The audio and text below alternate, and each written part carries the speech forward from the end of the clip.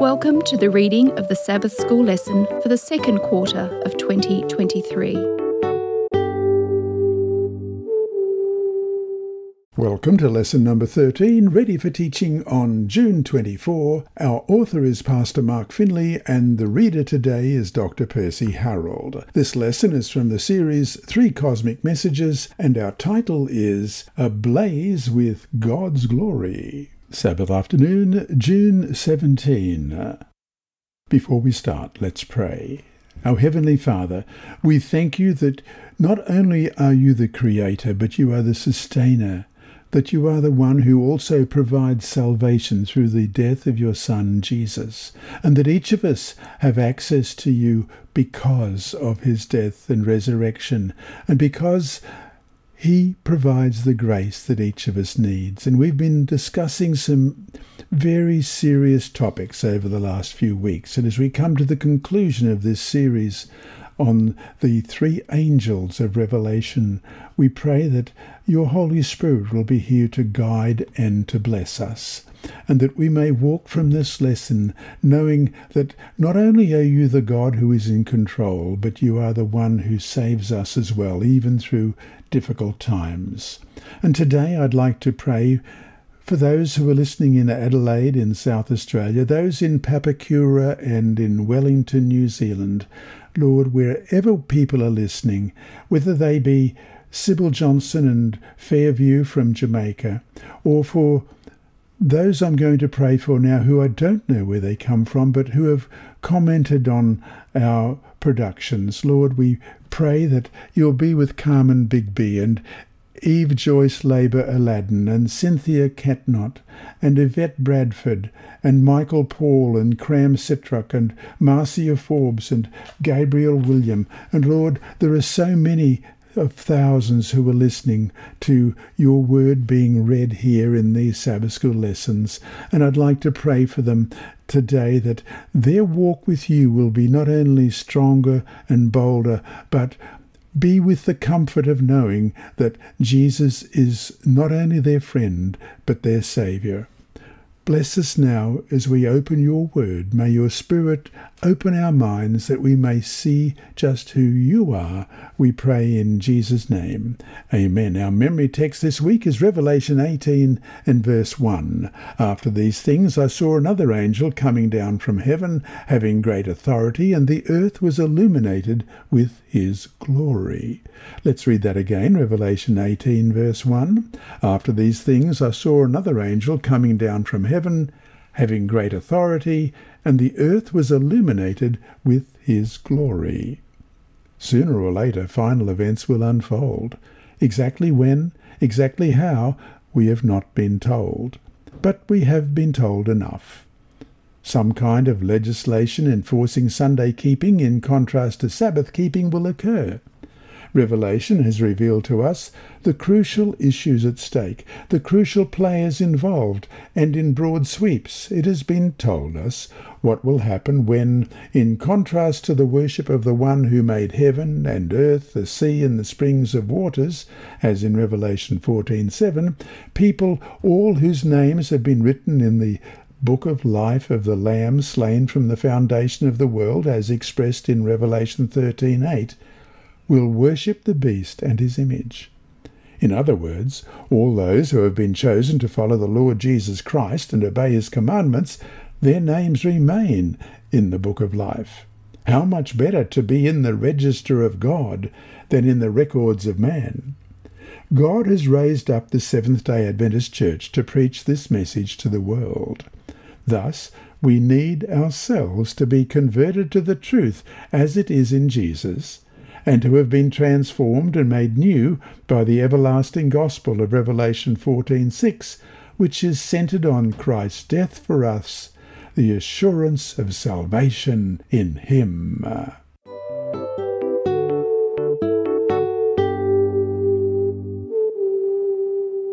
Sunday, June 18. Preparing for the final crisis. Read 1 Thessalonians 5 1 to 6 what admonition does the Apostle Paul give us regarding the last days of human history?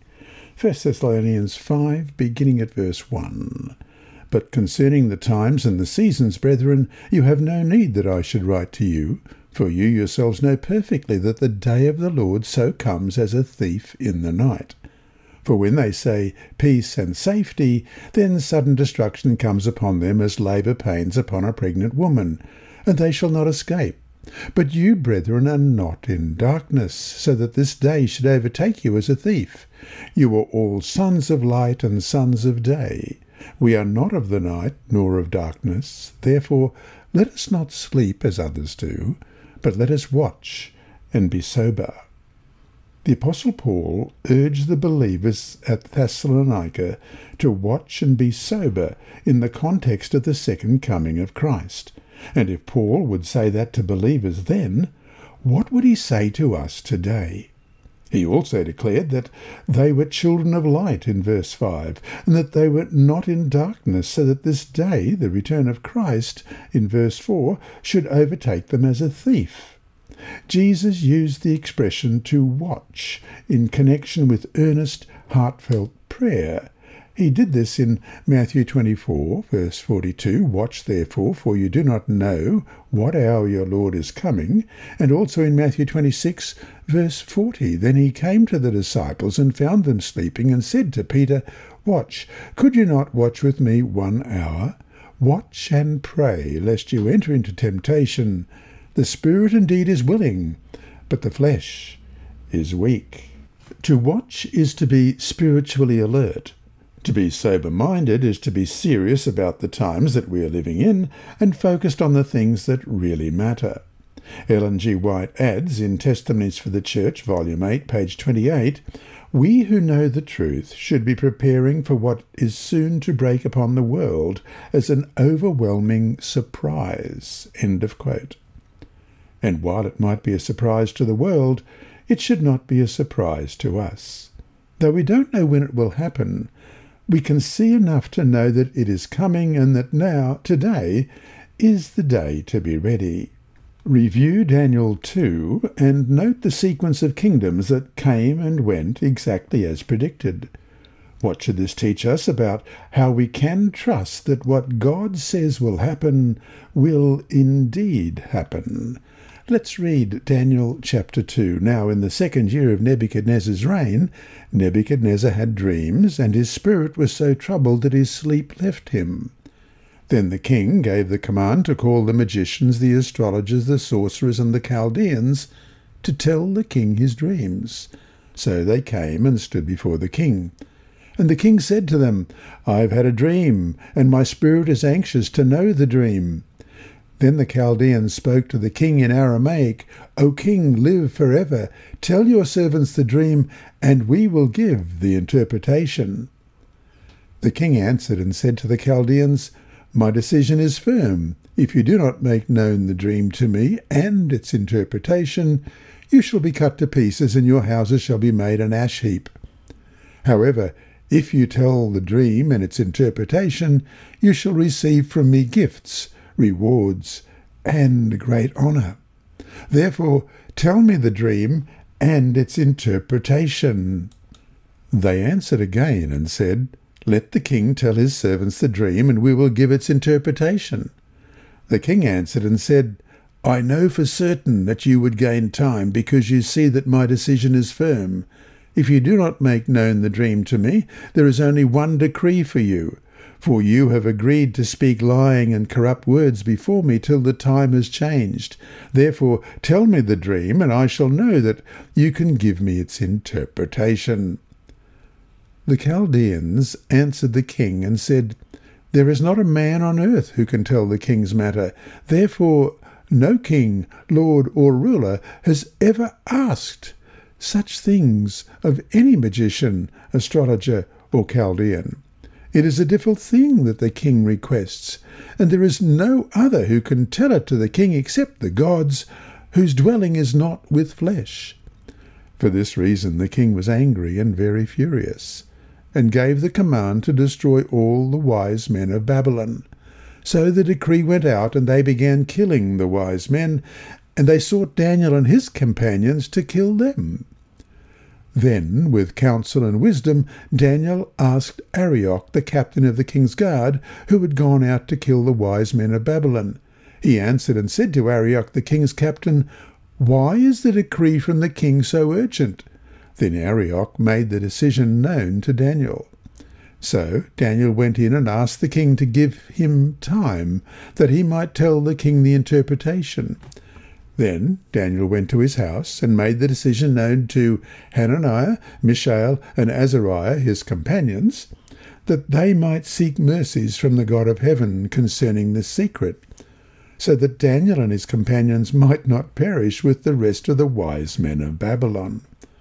Then the secret was revealed to Daniel in a night vision. So Daniel blessed the God of heaven. Daniel answered and said, Blessed be the name of God for ever and ever. For wisdom and might are his, and he changes the times and the seasons. He removes kings and raises up kings.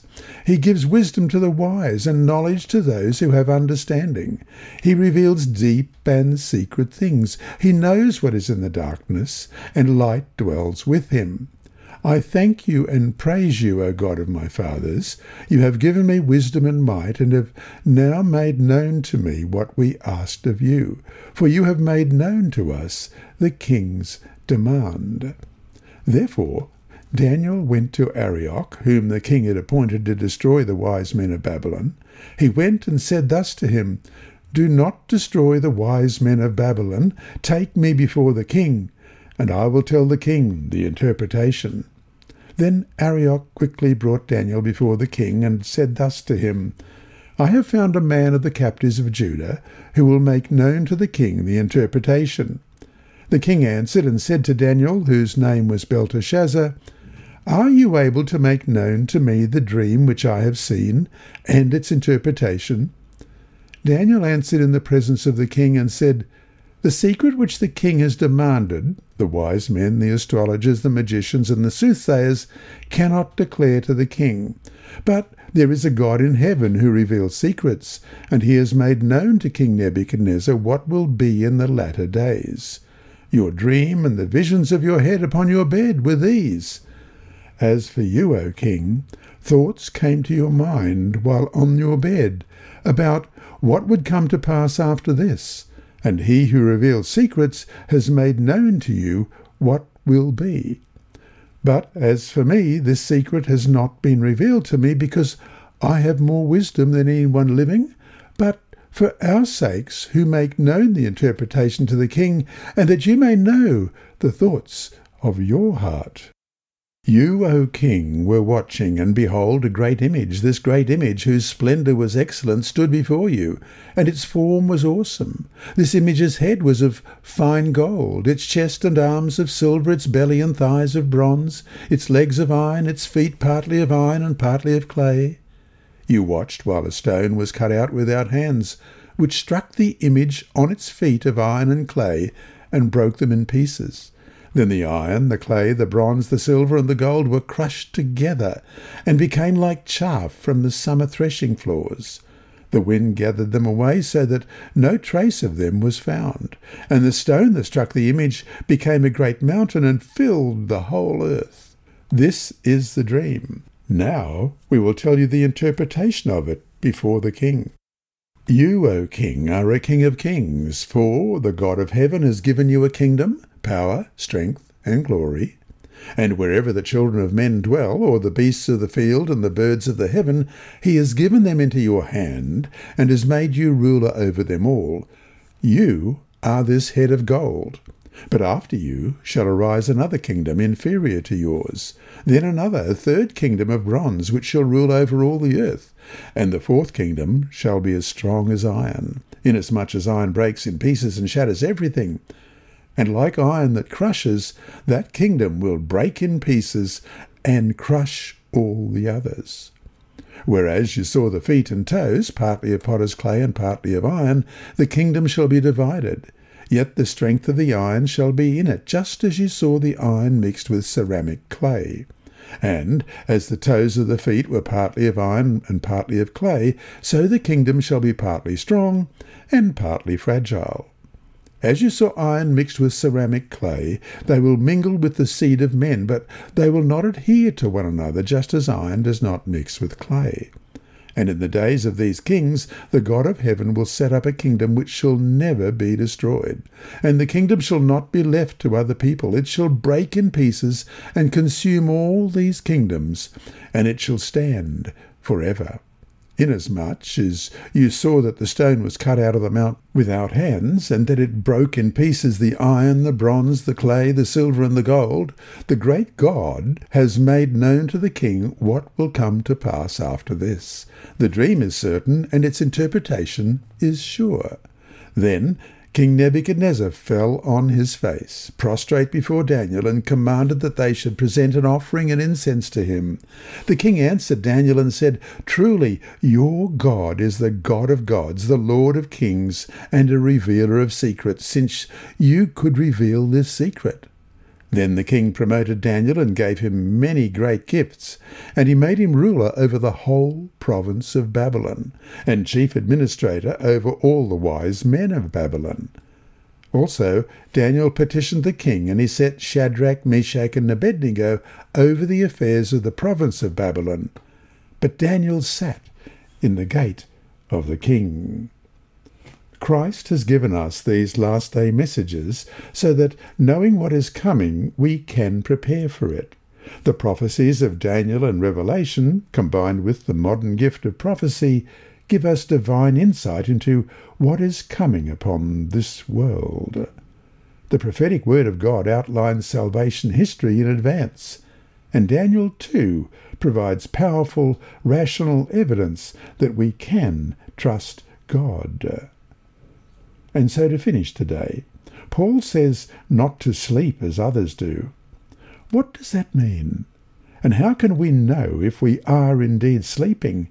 And if we are, what will it take to wake us?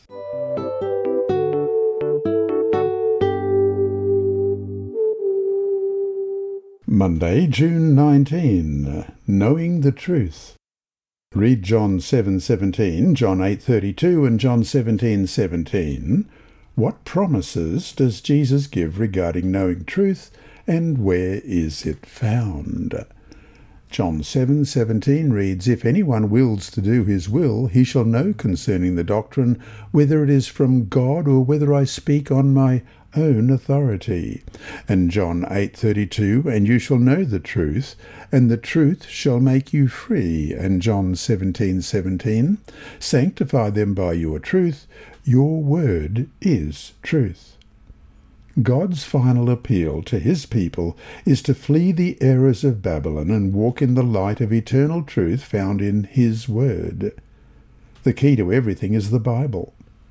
As long as people stick to the Bible and follow what it teaches, they will not be deceived in the final crisis, particularly regarding the Sabbath.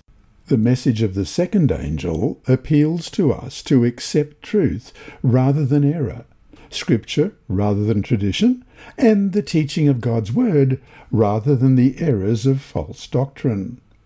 The third angel's message, which follows the first two angels, presents a warning against the mark of the beast. Throughout the prophecies of the Bible, a beast represents a political or religious power. The sea beast of Revelation 13 and 14 arises out of Rome as a worldwide system of worship. Eventually, this Roman power extends its influence over the whole world and will lead out in a movement to unite church and state. The goal will be to achieve world unity at a time of economic upheaval, natural catastrophes, social turmoil, international political crisis, and global conflict. And the United States will eventually take the lead in this global confederation. We read in The Great Controversy, page 588. Through the two great errors, the immortality of the soul and the Sunday sacredness, Satan will bring the people under his deceptions. While the former lays the foundation of spiritualism, the latter creates a bond of sympathy with Rome. The Protestants of the United States will be foremost in stretching their hands across the gulf to grasp the hand of spiritualism. They will reach over the abyss to clasp hands with the Roman power, and, under the influence of this threefold union, this country will follow in the steps of Rome in trampling on the rights of conscience. End of quote. These messages conclude with an urgent appeal for Christ's faithful followers to keep the commandments of God through the living faith of Jesus dwelling in their hearts, as we read in Revelation 14:12. Here is the patience of the saints. Here are those who keep the commandments of God and the faith of Jesus. And so to finish today, how do you understand Jesus' words from John 8:32 that we read earlier today. The truth shall make you free. What does that mean? How has the truth set you free? What does it mean to be free in this context?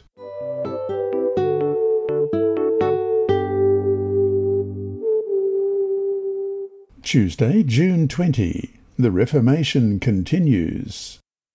God has raised up a last day people to stand on the shoulders of the great reformers of the past, with the Bible as their only creed, Christ alone as their only source of salvation, the Holy Spirit as their only source of strength, and the return of our Lord as the consummation of all their hopes truths long obscured by the darkness of error and tradition, including the true Bible Sabbath, will be proclaimed to the world just before the return of our Lord. The three angels' messages gave birth to this last day movement to complete the Reformation and to participate with Christ in finishing his work on earth. The great prophecies of the Bible's last book reveal a divine movement of destiny arising out of disappointment to proclaim God's final message to the world. Revelation 14 describes a worldwide church spanning the globe with the good news of the eternal gospel. The three angels of Revelation 14 are joined by a fourth angel in Revelation 18. This angel gives power to the proclamation of the three angels so that the earth is lightened with his glory, as it says in Revelation 18, verse 1.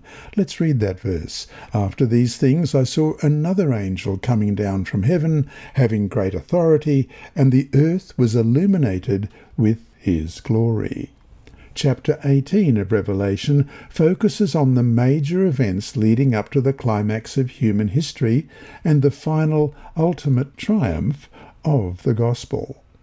Read Revelation 18:1. What three things does John tell us about this angel? And also look at Habakkuk chapter 2, verse 14. Let's reread Revelation 18:1. After these things I saw another angel coming down from heaven, having great authority, and the earth was illuminated with his glory. And Habakkuk chapter 2, verse 14 For the earth will be filled with the knowledge of the glory of the Lord, as the waters cover the sea. The angel who comes down from the glorious presence of God in the throne room of the sanctuary is commissioned to proclaim God's last message of mercy and to warn the inhabitants of the earth of what is coming upon the planet Earth. The text says that the angel comes with great authority. The New Testament Greek word for authority is exousia, E X O U S I A. Jesus uses this word in the Gospel of Matthew in harmony with the sending out of his disciples. In Matthew 10:1, Jesus gives his disciples authority, as it says in the New International Version, over the principalities and powers of evil. In the New King James Version it reads, And when he had called his twelve disciples to him, he gave them power or authority over unclean spirits to cast them out and to heal all kinds of sickness and all kinds of disease. He sends them out with the divine power to be victorious in the battle between good and evil. In Matthew 28, 18 and 19, he once again sends them out, but this time with all authority in heaven and on earth to go and make disciples of all nations. Let's read Matthew 28, verses 18 and 19. And Jesus came and spoke to them, saying, All authority has been given to me in heaven and on earth. Go therefore and make disciples of all the nations, baptizing them in the name of the Father, and of the Son, and of the Holy Spirit. So, to finish today, ultimately, how do the issues of the last days, as they really do every day, come down to authority? Whose authority do we follow? God's, our own, the beast's power, or someone else's? Whose authority are you following now?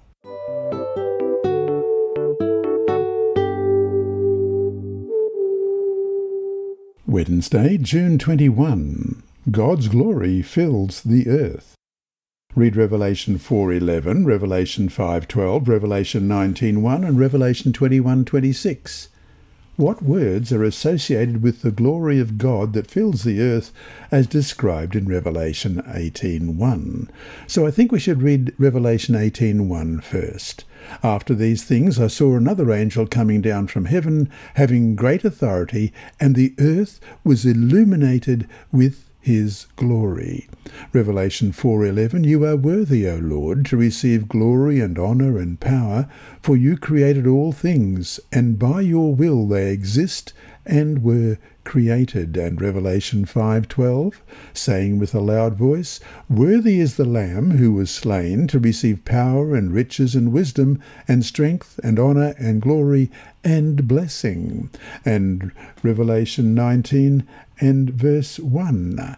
After these things I heard a loud voice of a great multitude in heaven saying, Alleluia! Salvation and glory and honour and power belong to the Lord our God. And Revelation 21 and verse 26, and they shall bring the glory and the honour of the nations into it. And so we'll reread Revelation 18 verse 1. After these things I saw another angel coming down from heaven, having great authority, and the earth was illuminated with his glory. The great controversy between good and evil in the universe also is about God's honour or reputation. Satan, a rebel angel, has declared that God is unjust, that he demands worship, but gives little in return. The evil one declares that God's law restricts our freedom and limits our joy. Jesus' life, death, and resurrection exploded that myth. The one who created us plunged into the snake pit of this world to redeem us. On the cross, he answered Satan's charges and demonstrated that God is both loving and just.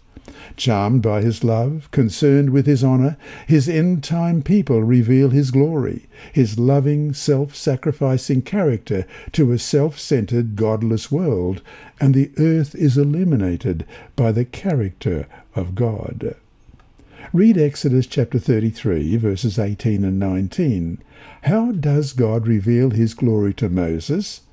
What is God's glory?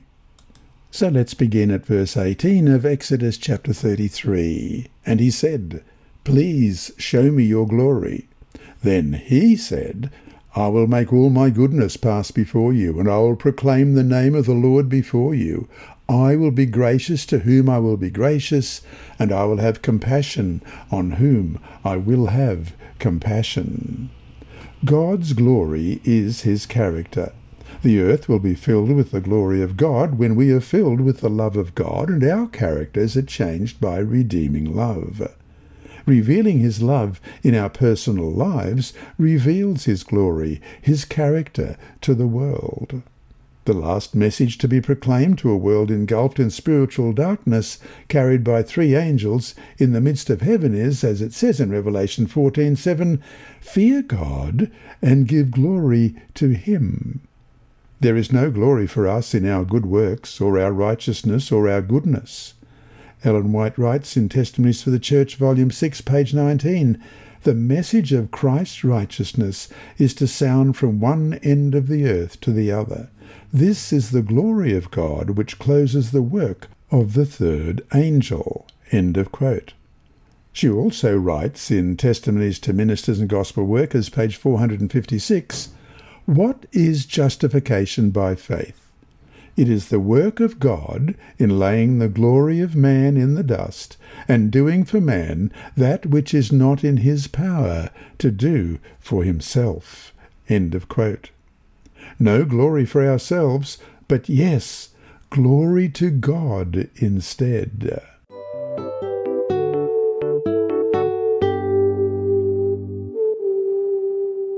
Thursday, June 22 the Lamb, the slain Lamb.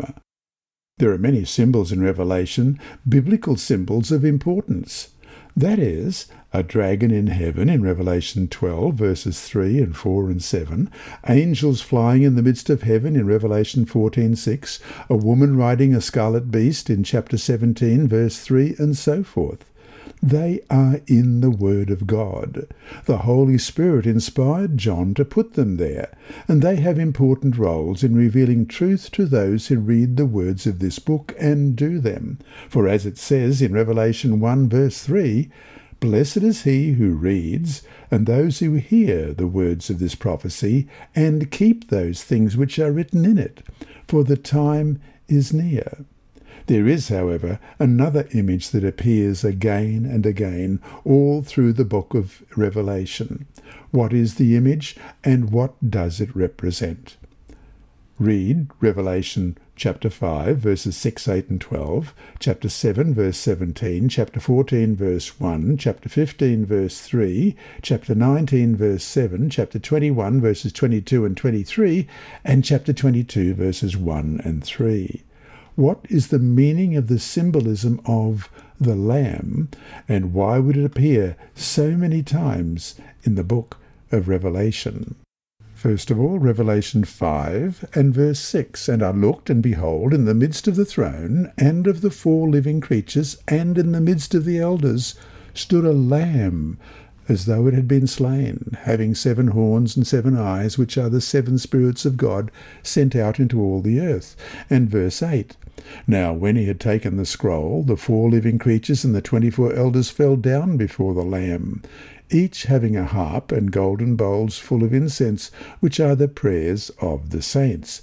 And verse 12, saying with a loud voice, Worthy is the Lamb who was slain to receive power and riches and wisdom and strength and honour and glory and blessing. And chapter 7, verse 17, For the Lamb who is in the midst of the throne will shepherd them and lead them to living fountains of water and God will wipe away every tear from their eyes. And chapter 14, verse 1 Then I looked, and behold, a lamb standing on Mount Zion, and with him 144,000, having his father's name written on their foreheads. And chapter 15, verse 3 They sing the song of Moses, the servant of God, and the song of the Lamb, saying, Great and marvellous are your works, Lord God Almighty. Just and true are your ways, O King of the saints. And chapter 19, verse 7. Let us be glad and rejoice and give him glory, for the marriage of the Lamb has come, and his wife has made herself ready. And chapter 21, verses 22 to 23 But I saw no temple in it, for the Lord God Almighty and the Lamb are its temple. The city had no need of the sun or of the moon to shine in it, for the glory of God illuminated it. The Lamb is its light. And chapter 22, verse 1 And he showed me a pure river of water of life, clear as crystal, proceeding from the throne of God and of the Lamb. And verse 3 And there shall be no more curse, but the throne of God and of the Lamb shall be in it, and his servants shall serve him. Of course, as the opening words of the book say, this is a revelation of Jesus Christ. And not only is he a lamb, but also a lamb slain, as we've read in Revelation 5, verses 6 and 12, and chapter 13, verse 8. That is, Jesus Christ crucified. Here is the heart and soul not only of all the Bible, but also of the book of Revelation and of the three angels' messages. We cannot be faithful to our calling. We cannot do the work that God has raised up this church to do unless we have the Lamb, the slain Lamb, Jesus, crucified, a sacrifice for our sins as the focal point of our message. As we read in uh, the closing of the cosmic conflict role of the three angels' messages by Angel Manuel Rodriguez, an unpublished manuscript, page 70, we must intentionally place the Lamb that was slain at the very centre of our doctrines and mission, and at the heart of every sermon we preach, every article we write, every prayer we make, every song we sing, every Bible study we give, and in everything we do. Let the love revealed by the Lamb on the cross transform the way we treat each other and move us to also care for the world. End of quote. That is, amid the imagery of dangerous beasts, of a dragon making war, of plagues, of persecution, and of the mark of the beast, there remains front and centre the Lamb, the Lamb slain, and He alone, what He has done for us, is doing now, and will do before it's all over. He is ultimately what the three angels' messages are about. And so to finish today, why is keeping the slain lamb at the centre of our message crucial, not only for leading others to Him, but also for our own spiritual life?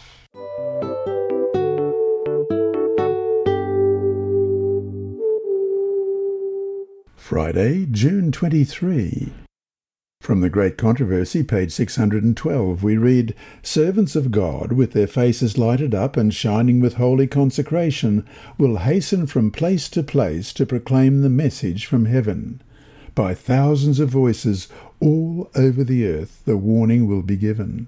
Miracles will be wrought, the sick will be healed, and signs and wonders will follow the believers. Satan also works with lying wonders, even bringing down fire from heaven in the sight of men. Revelation 13:13. 13. Thus the inhabitants of the earth will be brought to take their stand. The message will be carried not so much by argument as by the deep conviction of the Spirit of God. The arguments have been presented, the seed has been sown, and now it will spring up and bear fruit. The publications distributed by missionary workers have exerted their influence, yet many whose minds were impressed have been prevented from fully comprehending the truth or from yielding obedience. Now the rays of light penetrate everywhere. The truth is seen in its clearness, and the honest children of God sever the bands which have held them. Family connections, church relations are powerless to stay them now. Truth is more precious than all besides. Notwithstanding the agencies combined against the truth, a large number take their stand upon the Lord's side.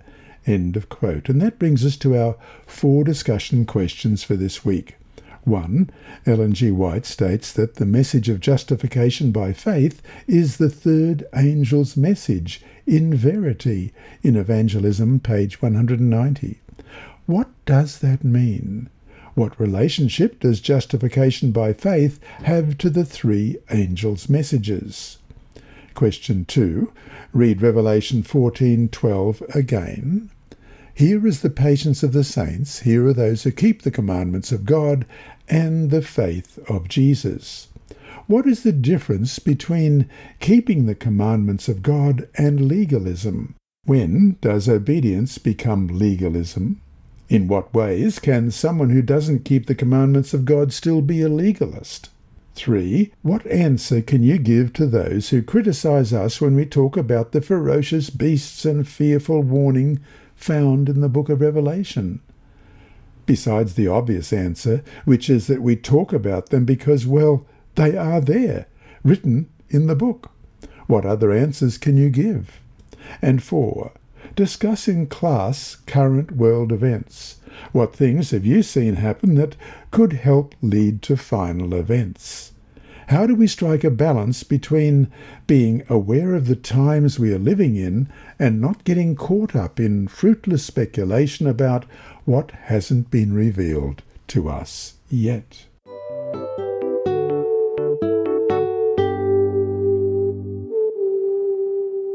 And now for our final inside story for this quarter.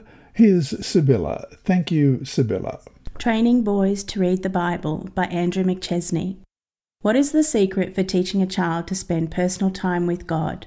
Christian Mueller, an Argentinian volunteer at a Seventh day Adventist school in Tokmok, Kyrgyzstan, surprised me with his answer as we spoke in his home. I was in town to collect mission stories for Adventist Mission. Christian said his six year old son Thomas had interrupted his personal devotions that morning. Normally, I would have asked him to wait, Christian told me, but he held up his Bible in his little hands and said, Papa, I don't understand what I'm reading. Can you help me? What else could you do but help him? I expressed astonishment that such a small boy was reading his Bible in the morning. My incredulity grew as Christian explained that Thomas and his seven year old brother Lucas read their Bibles every morning. How did you teach them to have morning devotions? I asked. Christian thought for a moment. Actually, I have never taught them to have morning devotions, he said. The boys began having personal devotions around the time that they were learning to walk. Christian and his wife, Romina, would sit at opposite sides of the kitchen table to read their Bibles for personal devotions every morning in their home in Argentina. The boys would wake up and naturally want to be with their parents. Crawling out of bed, they would find their father and mother in the kitchen. Christian told the boys from the beginning that it was very important for Daddy and Mummy to spend time with God in the morning, and that the boys could not interrupt the morning devotions. If the boys wanted to remain in the kitchen, they needed to be quiet and have their own devotions. The boys chose to stay. Initially, they could not read, so they quietly leafed through Bible picture books. As they grew older, they began to read their Bibles. After moving to Kyrgyzstan, the parents and the boys had morning devotions in their own rooms. This was the secret for teaching a child to spend personal time with God in the morning. I never once told the boys that they needed to start having morning devotions, Christian said. They just saw that Mother and I had devotions and followed our example. Your 13th Sabbath offering in the fourth quarter of 2017 helped enlarge the Seventh day Adventist school where Christian volunteered in Tokmok, Kyrgyzstan. Thank you for your 13th Sabbath offering this Sabbath, that it will help spread the gospel around the world. You can read more about Thomas and Lucas online at bit.ly slash mission dash kids. Greetings, Sabbath School friends around the world. My name is Emma Garrick, a final year nursing student at Avondale University in Cooranbong, Australia. You have been listening to my grandfather, Percy Harrold, reading the text of the Adult Bible Study Guide with this week's Sabbath School lesson. He has been doing this for free since 1996, long before I was born. Initially read as Eyes for the Visually Impaired through Christian Services for the Blind in Australia and New Zealand, it became a podcast in July 2007 and so became available to anyone around the world. In 2021, PA's podcast became the reading podcast for the official General Conference Sabbath School app, with daily recordings of each day of the lesson. The podcasts of the reading of the Sabbath School lessons are available from Hope Channel Australia, primarily on SoundCloud, and thence on multiple podcast rebroadcasters, including Apple iTunes. For several years, it has also been available in YouTube format, with the voice of my grandfather syncing in time with the scrolling of the text of the lesson, including all the reference texts.